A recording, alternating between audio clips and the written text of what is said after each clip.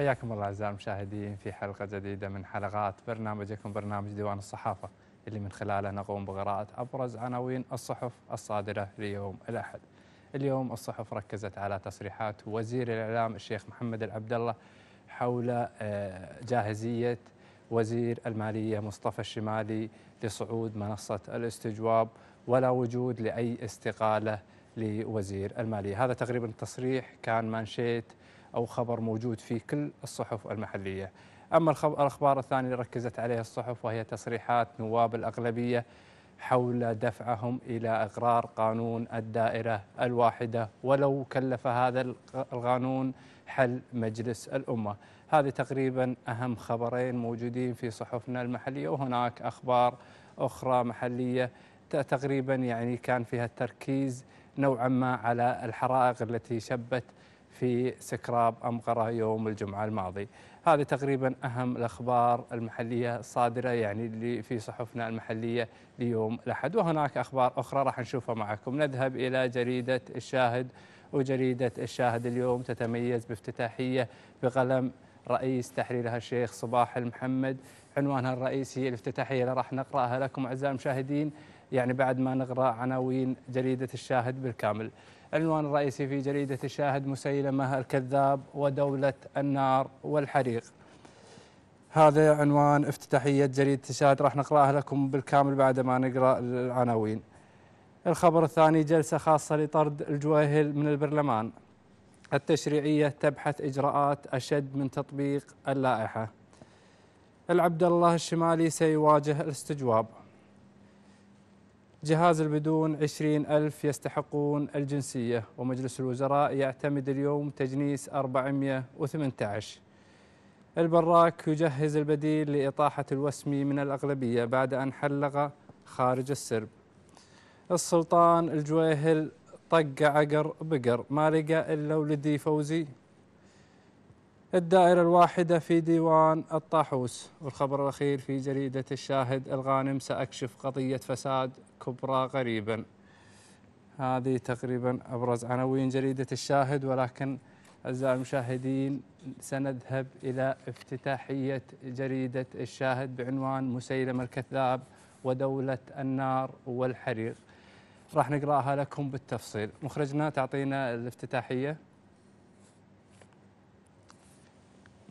مسيلم الكذاب ودولة النار والحريق يريدون تفكيك المجتمع وطوائف ومذاهب وقبائل ليصبح جاهزا للحرب الأهلية بحجة الحفاظ على الديمقراطية.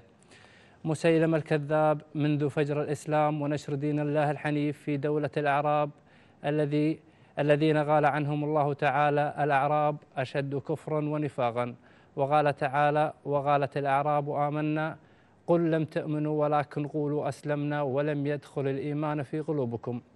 لينتشر الدين في جميع بقاع الأرض بفضل من الله سبحانه وتعالى. دخل مسيلم الكذاب وتوقل وتقرب إلى النبي صلى الله عليه وسلم وهو يخطط ويجهز لنفسه أن يكون شريك النبي وخليفته في النبوة. وبمجرد أن توفى الله رسول الله صلى الله عليه وسلم صرخ مسيلم الكذاب محرفا آيات الله والقرآن الكريم أنا رسول الله أنا خليفة محمد صلى الله عليه وسلم متكلا هذا الكذاب على الجاهلية العربية وفزعاتها العنترية لذوي القربى الذين لا يهمهم إلا المنافع المعنوية والسيادية وقبلها المالية. ولأنهم كانوا واثقين من كذبة كانت مقولتهم الشهيرة كذاب ربيعة أي مسيلمة خير من صادق مضر محمد صلى الله عليه وسلم.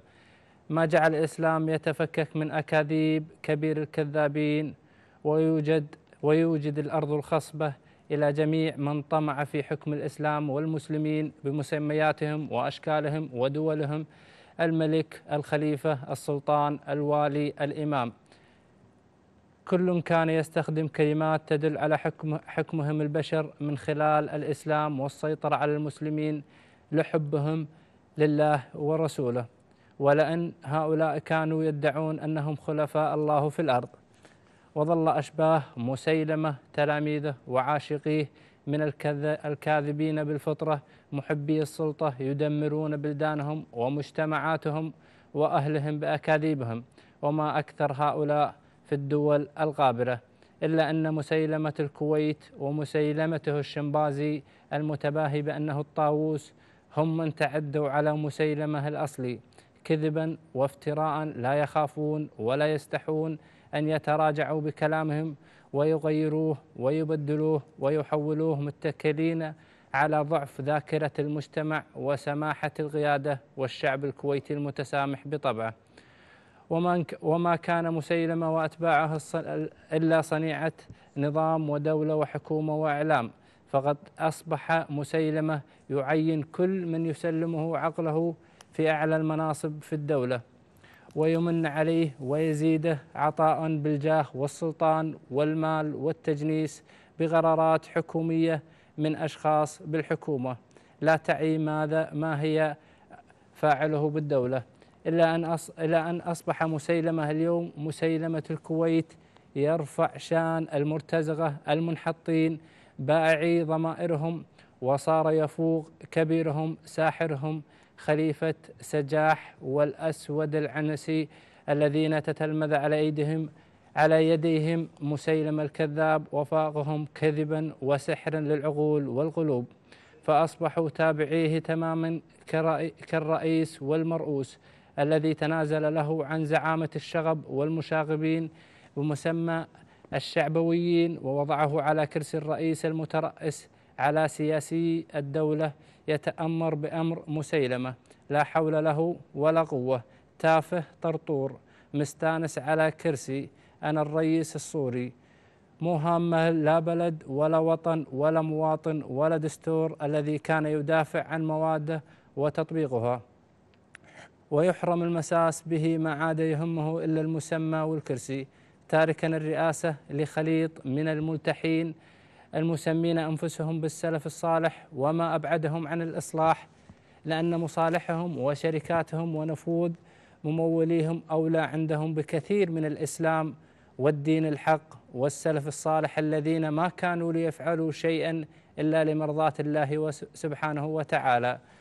مخلوطين هؤلاء الملتحين مع مخففي اللحى الإخوان المسلمين الماسونيين الصهيونيين مدمري الشعوب الإسلامية بحجة إخوانشيتهم بالإسلام لأنهم ليسوا مسلمين بل أخوان مسلمين. هذا مسماهم والساعين لهز الأمن والأمان في الدول العربية متحدين مع الاتحاد الأمريكي بحجة إصلاح المسلمين من خلال هز الدول الإسلامية وأضعافها لمنافع اقتصادية بحتة ما يجعلهم يتحدون هؤلاء الماسونيين مع أكثر الناس قربا لهم وهم القوميون أتباع المسيحي جورج حبش الذين وصلون من خلال مسيلمة العهد الماضي العبد المخطوب الخطيب الذي باع دينه وذمته وعقله ليعيد زمن المملكة الحبشية من خلال الأبيض المسيحي الحبشي.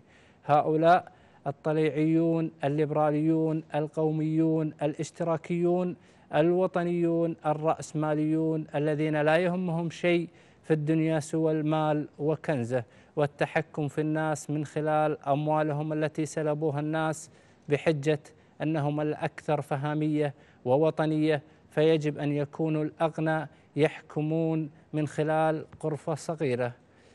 لا يريدون قصورا ودواوينا في الدولة بل قرفة تكفي لحكم الناس بأموال الناس وليبنوا قصورا حول العالم وليكتفوا بذلك ولم يكتفوا بذلك بل بنوا قصورا تطير في السماء طائرات خاصة وقصورا تعوم في فوق الماء يخوت تخرع. وما هؤلاء وما هؤلاء وتجمعاتهم ونجاحاتهم في إشعال النيران السياسية والإعلامية والكلامية أن تكون ما لم يجدوا مسيلمة وأكاذيبه مسماه ضمير الشعب وضمير الدولة وضمير الأمة. كذب كذب بكذب بكذب. وسيظلون يكذبون طالما أن الكذب يأتي بالمال والجاه. ناسين هؤلاء والله العظيم ثم والله العظيم أغلبهم ملحدون إن صلوا مع الجماعة فهناك من يصلي وهو على جنابه. يصلي لمجرد أن تراه الناس لا يصلون لله. ناسين متناسين أن هناك ملكا عدلا قال في كتابه الكريم وإذ أردنا أن نهلك قرية أمرنا المتر فيها ففسقوا فيها فحق عليهم القول فدمرناها تدميرا. صدق الله العظيم. فلا يوجد في الكون دولة يعيش أهلها برخاء ورفاهية بقدر ما نعيش به من رفاهية إلا أن أصبحنا لا نعي ما نريد. ومن هنا بدأ ومن هنا بدأت الدولة العالمية والاستخبارات الدولية والدول الصهيونية والدول العربية غير الواعية تحولنا إلى حقل تجارب لإشعال النيران لتصل إلى باقي الدول.